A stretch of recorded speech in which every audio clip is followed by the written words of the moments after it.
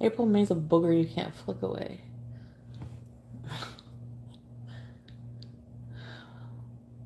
Oh, you're Jewish? Okay, well then you're a Jewish booger that you can't flick away.